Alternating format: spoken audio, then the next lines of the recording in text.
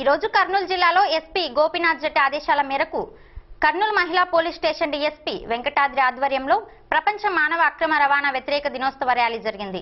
SP Sheikshavali జెండా ఊపి ప్రారంభించారు. ఈ ర్యాలీలో అధికారులతో పాటు మూడు వేల మంది మహిళలు విద్యార్థులు మానవ అక్రమ రవాణాపై ఫ్లకార్లు ప్రదర్శిస్తూ కొండారెడ్డి బురుజు సర్కిల్లో మానవహారం చేపట్టారు. ఈ సందర్భంగా ఎస్పీ మాట్లాడుతూ మన రాయలసీమలో అక్రమ రవాణాలో అనంతపురం మొదటి స్థానంలో ఉందని తర్వాతి రెండవ స్థానంలో కర్నూలు ఉందని తెలిపారు. కర్నూలు సి టీం బాగా పనిచేస్తుందన్నారు. మంచి ఉద్యోగాలు ఆదాయాలు కల్పిస్తామని ప్రలోభపెట్టి పేదవారిని నిరక్షరాస్యత కలిగిన మహిళలను పట్టణాలకు తరలిస్తూ కొంతమంది మోసాలకు పాల్పడుతున్నారన్నారు. ఎక్కడైనా ఇలాంటి నేరాలు జరుగుతుంటే పోలీసులకు గాని ఐసీడీఎస్ వారికి గాని సమాచారం అందించాలన్నారు. జడ్జి శ్రీనివాసరావు మాట్లాడుతూ ఇక్కడ ఐక్యరాజ్య సమితి బాలల హక్కులకు రక్షణ తీర్మానాలు కల్పించిందని ఆర్టికల్ ఇరవై మూడు కింద అక్రమ రవాణా నిషేధించడమైందన్నారు. ఈ కార్యక్రమంలో deputy collector CEO Mallikarjuna Lok Adalat judge Srinivasarao AR additional SP Venkatesh DSP Venkatadri RDO Hussain Saheb women and child welfare project director Srimati Vijaya మరియు మహిళలు పాల్గొన్నారు.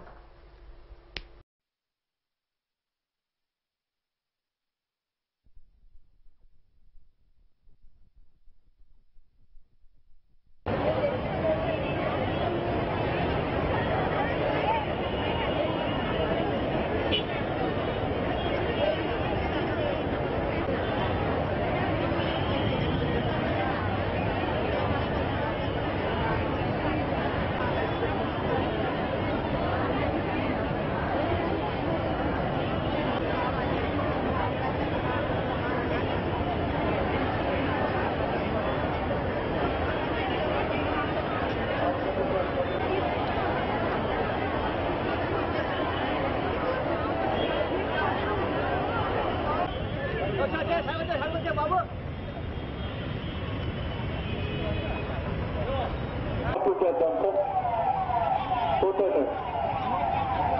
కొత్త బస్ స్టాండ్ వచ్చేయండి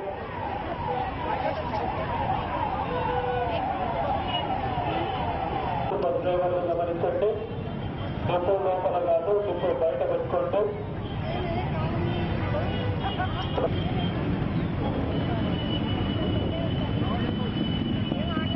పాత బస్ స్టాండ్ ఆటో నిలుగుతూ ఉంటారు దాని వెనక జరగట్లేదు వాళ్ళ పెద్ద పోతుంటే ఆటోలో తొందర వినపడుతుంది మీకు వాళ్ళని ఫోన్ చేయండి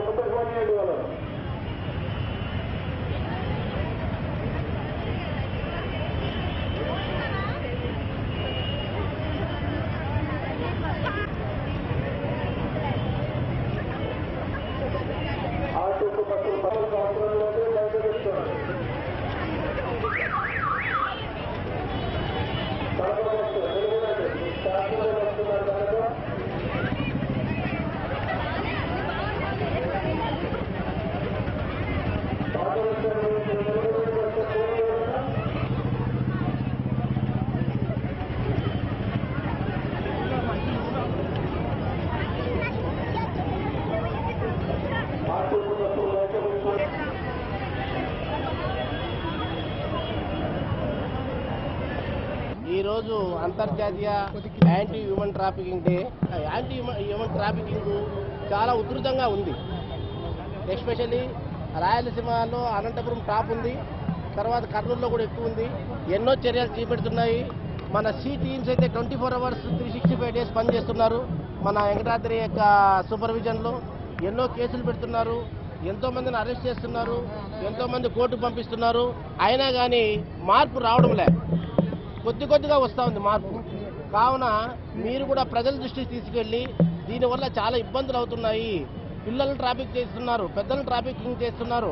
అన్ని వర్గాల వాళ్ళని ట్రాఫికింగ్ చేస్తున్నారు. ముఖ్యంగా పేదవాళ్ళు ఎక్కువగా ట్రాఫికింగ్ గురవుతున్నారు.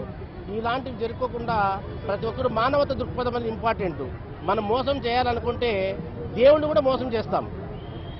అలాంటి స్కిల్స్ ఉన్నాయి మానవుల్లో. తోటి మానవులు చిన్న పిల్లలు తర్వాత సమాజంలో పేదవాళ్ళు ఇలాంటి వాళ్ళని మోసం చేయడం అనేది చాలా ఈజీ.